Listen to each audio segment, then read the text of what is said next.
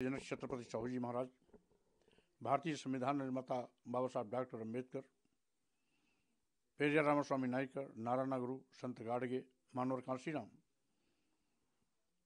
रामस्वरूप वर्मा जी पेरिया ललई सिंह यादव, शहीद जगदेव बाबू आदि की विचारधारा को आगे बढ़ाने का मैं प्रयास राजनीति के अपने शुरुआती दौर से करता चला रहा हूँ। यही सोच करके मैं समाजवादी पार्टी को भी लगातार मजबूती प्रदान करने की कोशिश की। लेकिन कुछ लोग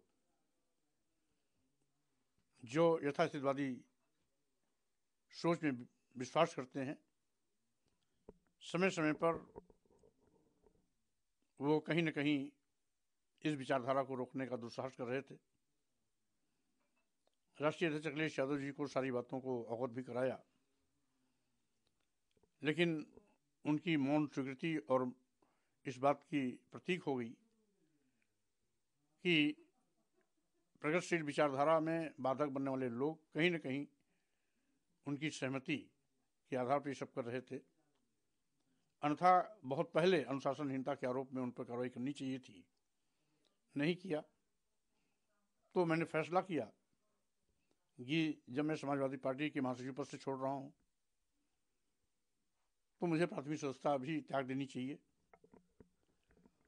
और चूँकि समाजवादी पार्टी के प्रत्याशी के रूप में उत्तर प्रदेश विधानसभा निर्वाचन क्षेत्र से मैं उत्तर प्रदेश की विधान परिषद में भी सदस्य निर्वाचित हुआ था तो नैतिकता के आधार पर मैंने सदस्य विधान परिषद पद से भी आज त्याग पत्र देने का फैसला ले लिया है।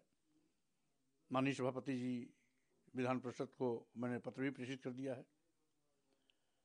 यानी समाजवादी पार्टी की प्राथमिक सदस्यता का त्याग पत्र मैंने राष्ट्रीय अध्यक्ष अखिलेश यादव जी को भेज दिया और विधान परिषद की सदस्यता से त्याग पत्र का पत्र मैंने माननीय सभापति विधान परिषद उत्तर प्रदेश को भेज दिया है। क्योंकि मैं स्वच्छ राजनीति में विश्वास करता हूँ। वैचारिक और सैद्धांतिक रूप से मैं किसी से भी टकराता, टकराने का पगदर रहा हूँ। यह टकराहट पहले भी होती रही है।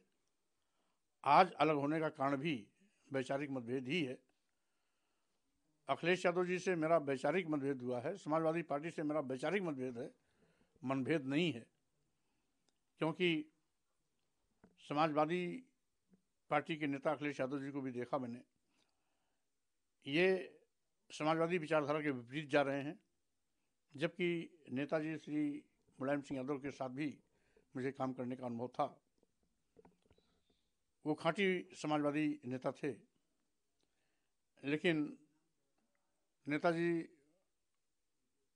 मुलायम सिंह यादव जी की विरासत संभालने वाले लोग, नेताजी मुलायम सिंह यादव की विचारधारा को भी ठीक से अनुकरण नहीं कर पा रहे हैं। ये दुख की बात है। अब मैं इस देश के दलितों, आदिवासियों, पिछड़ों, गरीबों, मजलूमों, किसानों, अल्पसंख्यक समाज के लोगों के सम्मान, स्वाभिमान की लड़ाई के साथ साथ सत्ता शासन में हिस्सेदारी की लड़ाई लड़ता रहूँगा। मानवर कांशीराम जी के बताए रास्ते पर चलते हुए सामाजिक परिवर्तन आंदोलन के कारवां को आगे बढ़ाने का मेरा प्रयास रहेगा। इसी क्रम में मैं 22 फरवरी 2024 को दिल्ली के तालकटोरा स्टेडियम में,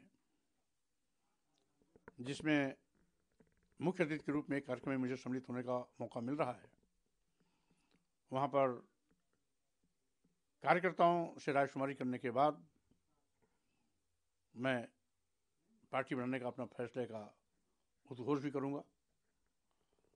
अब जब रणभेरी बच चुकी है तो स्वाभाविक रूप से समाज के अंतिम पायदान पर खड़े,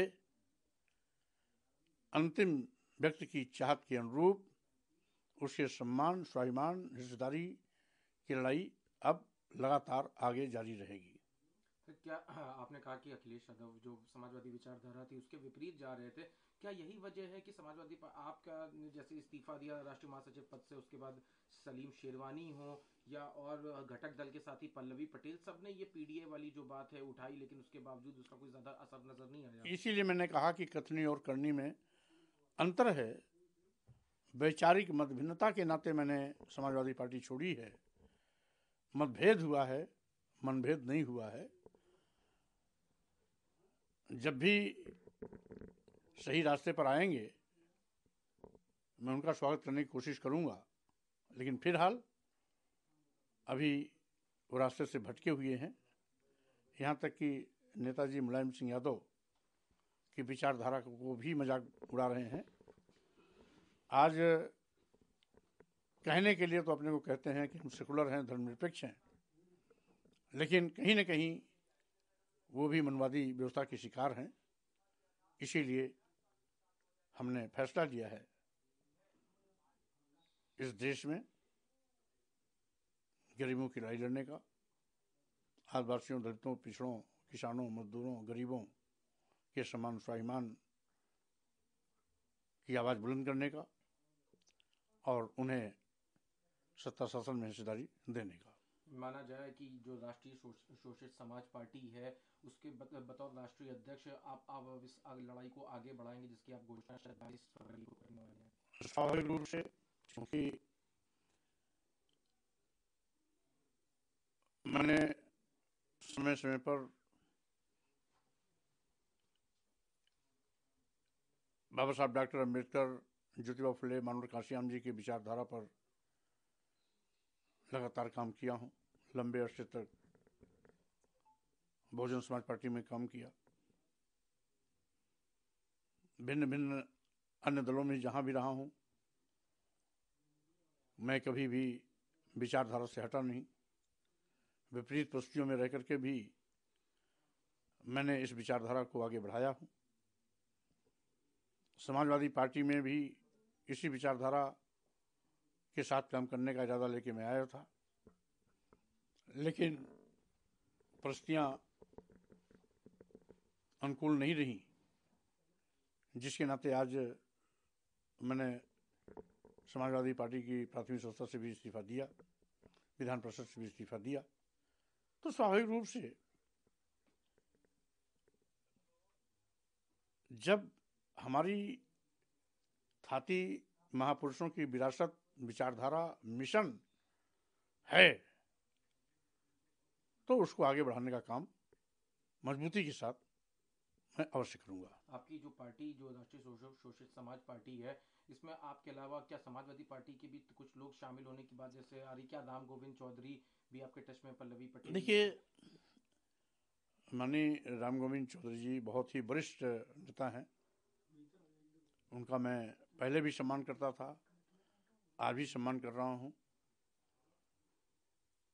और जब एक साथ एक पार्टी में नहीं थे तब भी मैं उनका सम्मान करता था। इसलिए मैंने पहले भी कहा वैचारिक मतभेद अलग है आपसी मनभेद अलग है। उनको इस पार्टी में अपने साथ आप लाएँगे? हम वो बहुत वरिष्ठ नेता हैं, हम उनसे बात करेंगे। उनकी जो भी चाहत होगी, मैं उसके अनुरूप कदम उठाऊँगा। अभी इस दिशा में कोई बात नहीं हुई है, इसलिए पहले से किसी प्रकार का फोरकास्ट करना उचित नहीं समझता हूँ। आखिरी सवाल है। अभी आपने कल जो अपनी बाइट दी उसमें आपने प्रोफेसर राम गोपाल की भूमिका पे सवाल खड़े किए क्योंकि पल्लवी पटेल ने कहा कि जिस तरह से उनको लेके ये भाषा का प्रयोग किया गया उसके बाद आपके बयानों को तो क्या लगता है कि उनकी जो पॉलिसी है वो पीडीए के विपरीत है देखिए कुल मिलाकर के हमने इतने कम समय में इस बात का अध्ययन किया कि जब तक प्रोफेसर राम गोपाल जी महत्वपूर्ण भूमिका में समाजवादी पार्टी में रहेंगे तब तक समाजवादी पार्टी पर इसी प्रकार का ग्रहण लगा रहेगा। आखिरी सवाल है ओम प्रकाश राजभर ने आपके ऊपर आरोप लगाया क्योंकि जिस तरह से नई पार्टी उस पर कहा कि आप पीडीए की आपकी तारीफ़ भी करी और साथ में ये भी कहा कि आप मिशन के तहत समाजवादी पार्टी में शामिल हुए थे और समाजवादी पार्टी को नुकसान पहुंचाना चाहते थे कुल मिलाकर ओम प्रकाश राजभर जी हमारे छोटे भाई हैं।